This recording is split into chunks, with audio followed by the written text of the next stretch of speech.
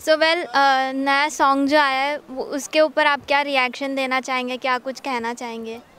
गाना बहुत अच्छा है और हर तीसरे बंदे के साथ होता है ऐसा। सबको धोखा मिलता है, ज़्यादातर लोगों को, सबको नहीं। बहुत नसीब वाले होते हैं, जिनको नहीं मिलता है। तो और बहुत से लोग नेगेटिव में लेके बहुत डिप्रेस हो जाते हैं, ये वो, और बहुत से लोग उसको पॉजिटिव लेके और हार्ड वर्क करते हैं और सोचते नहीं है। तो वैसा गाने में मैसेज है कि पॉजिटिव सोच के हार्ड वर्क करो। तो ये वैसे मुझे बहुत पसंद है क्योंकि मेरा तो पहला गाना सुने ही होंगे आप लोग बदनाम। तो वो भी पार्टली रियल लाइफ पे बेस्ड था।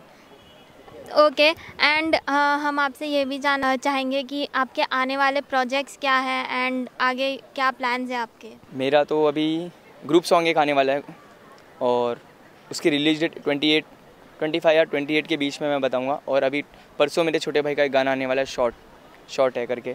तो रैप सॉन्ग है वो और पहली बार उसने बिना मेरे शूट किया मैं यहाँ पे था नहीं दुबई में था। मैं वहाँ से अरेंजमेंट कराया उसको सब कैमरामैन ये वो हर एक चीज़ का। उसने किया है और गाना बहुत ही अच्छा है और लिरिकली बहुत पावरफुल है तो आप लोग देखना ना भूलें। ओके okay, एंड आप दुबई में थे वहाँ पे आईपीएल भी चल रहा है तो आपको मौका मिला कि नहीं आईपीएल देखने का?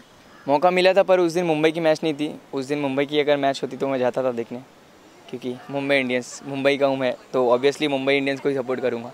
ओके मुंबई इंडियंस में से आपको कौन सबसे ज़्यादा यू नो फेवरेट प्लेयर है? सच बताओ मैं दो साल से आईपीएल नहीं देख रहा हूँ।